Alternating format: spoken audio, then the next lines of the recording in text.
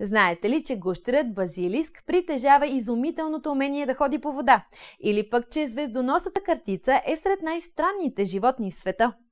Е, не може да бъде. Животни енциклопедия изпълнена с стотици подобни факти от животинския свят. Защото тук е събрана изключително любопитна информация за уменията и сетивата, невероятните тела, силата и скоростта, домовете и укритията и растежа и размножаването на животните. Ще разберете кои животни имат отпечатъци като човешките, коя мравка експлодира, кое е най-дългото животно, коя птица лети по-високо от самолет, кое е най-голямото живо нещо или пък коя е най-странната двойка животни. Не може да бъде животни. Енциклопедия, разкриваща изумителния свят на животните по един много интересен път, изпълнен с впечатляващи визуални сравнения и смайващи факти от животинския свят.